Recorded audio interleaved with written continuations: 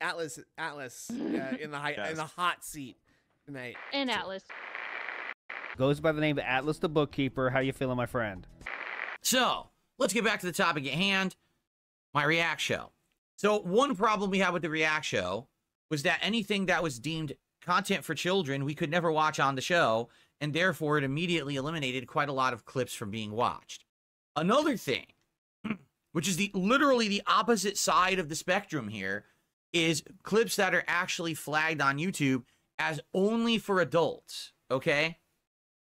You might say, what kind of content is that? To be honest with you, it's not even content that like would be deemed for like a rated R movie. Because you might what think, oh, maybe it's like gore or stuff like that. No, it's basically stuff with risque content. You know, a really strong language or something about race or something about you know a dangerous situation. You know, videos with cops involved in them and stuff like that. It- It's been really dumb stuff, quite frankly. Like I think maybe once or twice I discovered a clip like, oh, I probably wouldn't want to watch that on my show. For the most part, the videos that are labeled as adults only on YouTube are not actually that bad. It's just that YouTube wants to err on the side of caution because they don't want another ad apocalypse. For those who don't know, back in 2017, a ton of big high profile advertisers literally pulled out of YouTube and said, We no longer want to advertise on your site because you're putting our ads on videos that are absolutely ridiculously risque, over the top stuff that we would never want to advertise on. We're talking videos where people were ranting about race wars and how, you know, they liked Nazis or, you know, real terrorist style content or people saying the N word. And then there's an ad for Starbucks on it, right? So after that happened, uh, YouTube basically made it so that certain videos would be flagged as adults only. So that way ads don't go on them.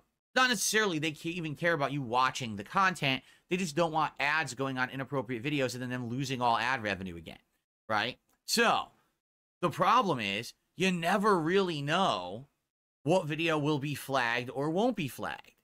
So people would be submitting videos for the show, and without fail, at least a couple videos a week would be flagged as adults only. And I'd have to go back to the person who was a member and be like, well, I'm sorry, you know, we can't watch your clip this week. It's not something that I, I do. I'm not weeding it out. It's that we just can't watch it. Could you maybe submit two clips next week and stuff like that? And basically, what's happened is we went from a show, right, that was getting, you know, probably about 50 to 70 members a month. And these problems have made these members kind of get just dis, what's the word? Um, disinterested in the show because we can't always watch the clips that they want me to watch, right? Now, in addition to that, let's be honest as well. As the numbers start to dwindle and the interest starts to wane, because when you're doing a show every week, it doesn't feel special anymore, right? If you're doing a show every once in a while, special. If you're doing it literally every week, it doesn't feel so special anymore. So, what ended up happening was, um, whatever what ended up happening was people, you know, reduced the amount that they were becoming members. So the clips started to come every week from the same people, right? And of course, if we have the same 10 people who are ultra members submitting clips every week, you're going to start to see a pattern. Videos about Warhammer 40K, videos about Singapore, or, you know, things like that that are similar topics. And after a while of seeing a few of those videos, you start to get tired of them, right? Videos from the same content creators doing skits, the same cooking channel, right? Over and over and over. And you're like, oh, all right, I'm tired of this now. But hey, I mean, it's the same person who's an ultra member and they like me reacting to that clip and they have the right to request it. So ultimately, where I feel the show kind of went wrong, there's a couple missteps here. And these are things that there was no way we were going to learn about this until essentially I did the show, right? Like I had to do the show to learn the lessons to make better content in the long term. So, lesson number one if I'm going to do React content, I pretty much shouldn't do it on YouTube. I should stream it somewhere else where they're not going to flag my stream or take down my stream or demonetize my stream. I should do it somewhere where I know it's not going to be interrupted. If, if you don't know how it works on YouTube, if you're streaming and it's, oh, this clip is deemed for kids or for adults, or, or oh, that's content ID matching content on YouTube. What they do is they take your stream down for three minutes until the AI algorithm determines that you're no longer streaming the copywritten content, and then your stream will come back. But it's very frustrating to have to deal with that in the middle of a live stream. You're looking over like, oh, come on, the stream went down. Now I got to pause, wait three minutes. Then I got to fast forward to the next clip. Why won't they just let me watch what I want to watch? If you stream on other places, for example, streaming on Kick, Kick doesn't do that at all. Kick lets you stream. Now, they'll tell you after the fact, okay? Um, after the fact, they'll tell you, hey, uh, you know, you did something that we don't approve of, delete the clip. But they're not going to shut your stream down unless you're doing extreme stuff. You know what I mean? Like, Kick is a lot better at it. I actually heard that Kino Casino, like last year, the year before, they actually were live streaming and reacting to like a Scooby Doo movie live, which obviously you can't do, it's copywritten. And they got away with it. And then after the fact, basically Kick contacted them and said, don't do that again and delete the, the video on demand. And they did. And then they didn't get into any trouble. So they're a lot more lenient with how stuff happens on Kick. So if I'm going to do React content, I absolutely should be streaming it on Kick. like it just makes sense. Why would I stream it on YouTube when we know we're going to possibly have all of these problems? Kids videos, adult videos, content ID matches, you know, stupid stream getting shut down. It doesn't make sense. It's just too much of a pain in the ass. I want to have a streamlined, uninterrupted experience for you guys. Not we're sitting here and we never know what we're doing. We're walking on eggshells watching these clips. It's, it's dumb, right? It's just a really stupid system. Um, so that's the first part. We'll talk about the second part in a second. And now we're up to $12 in support. Okay. So now let's talk about something else that I really feel sadly hurt the momentum of the React show. We were about one year, one whole year into the React show. It was like January or February of this year. All right. And all of a sudden, my detractors and trolls discover this really stupid loophole on YouTube where you could use a VPN to act like you are located in a different part of the, the world and you can buy things via that VPN that are definitely way cheaper than they're supposed to be. So they started doing this and coming to YouTube and doing things like mass buying YouTube premium subscriptions for like pennies on the dollar.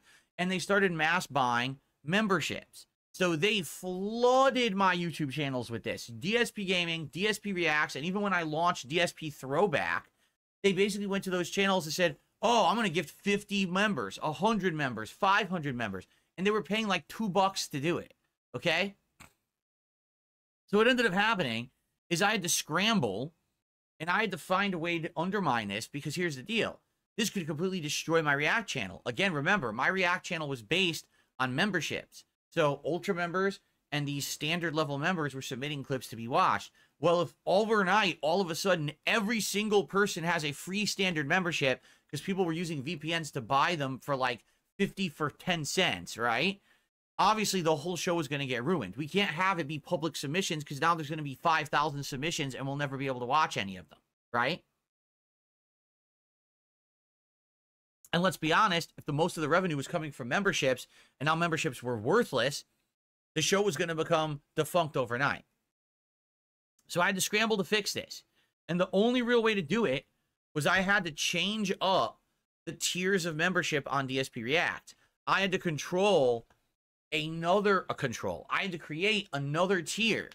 So it used to be called standard members. I had to change that and then change it to be submissions tier members. Okay? So the cost of being a member went from 4 bucks to 5 bucks. And there was nothing I could do about that. There was actually no way for me to fix it because this is a YouTube side issue that's in their system.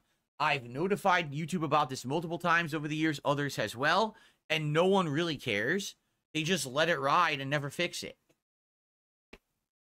So, these trolls almost ruined the React show. But by me creating this new tier of membership, the show was able to continue. But definitely, I saw a huge dip in support. Like, I was getting, no lie, probably around 30, maybe more than that, members a week. And so, or members a month, I should say. And if you do the math there, let's say that they're $4 each times like 30 or 40. So I was making like 150 to $200 just on those members. Then I was getting ultra members and then I was making ad revenue. Overnight, I basically lost hundreds of dollars of revenue that I was making each month on that sh- channel in the show because they were abusing the memberships. So because it's out of my control, you know, I did my best, but I lost a ton of support. So now essentially I'm losing the amount of members that I had for the show. The show is not allowed to be as free as we want it to be because we can't watch all the clips because of the kids only and the adults only. The streams are getting flagged and shut down midstream because of content ID. And then we're getting the same people submitting similar clips every single week. So it basically became a convoluted, unmanageable mess, and people didn't like it. At first, people did. And I think what it was is when the show started, the idea of, hey, we can get Phil to watch this clip that we've always wanted to see him watch, right? You guys were submitting some classic YouTube stuff. The original Boogie videos, right? Of how he got famous, or Angry Grandpa, or a meme from a million years ago, right? What was it? The Duck song. Stuff like that, that's like YouTube history, but I don't know about YouTube history because I never followed it. I wasn't like a YouTuber who followed the memes or anything. I was someone who always just did his own thing and kind of didn't pay attention to what was going around uh, YouTube with, with that kind of level of, of content. So it was actually fascinating. Excuse me, fascinating. And I would even say last year was extra cool because once we hit the holidays, we were doing like horror and Halloween themed content all October. We were doing Christmas content in November and December, and it made the show feel special for that time of year. It really did. But then this year, with all these issues, the you know the VPN memberships, people you know reducing massively the amount of uh, support that the channel was getting, um, all these issues just compiled, and I noticed every single week we were getting less viewers, we were getting less support on the live streams, and we were getting less members. And so finally, when the summertime hit, I kind of made the decision that I was going to probably discontinue the show or change its format. It was just a matter of like when.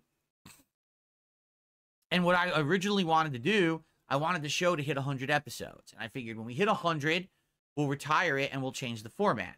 But what's happened is over the course of this year, as you know, I had a resurgence back in August. Now, I have more people who want me to do different kinds of content. And they I have more people who want me to branch out and do things like politics or hey react to a big video essay or a documentary as opposed to just sit there reacting to random clips. Because i guess what we should do we should outline the lessons learned from doing a show like this. So that way we don't make the same mistakes twice correct? All right we will do that in a second but i received a five dollar tip